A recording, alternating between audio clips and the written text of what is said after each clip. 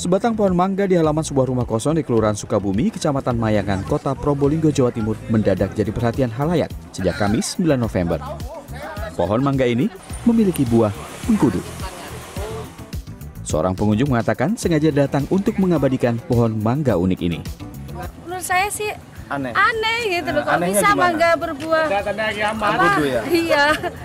Pohon mangga dengan buah mengkudu ini pertama kali ditemukan seorang tukang becak yang kerap mangkal di sekitar rumah ini. Cerita waktu ketemunya gimana itu Pak? Loh, mau mau manggil mangga tak mati loh film ini kok lain gitu loh loh ada mati kudu gitu aku jadi laporan ke Pak RW tadi gitu Namun, tak sedikit pula yang menyaksikan kejadian aneh ini. Beberapa warga yang meragukan keaslian buah mengkudu di pohon mangga menyentuh langsung sebelum menilainya sebagai rekayasa belaka.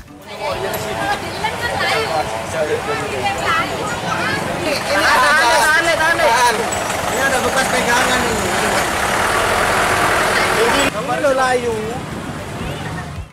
Secara ilmiah, mangga dan mengkudu memang mustahil menyatu.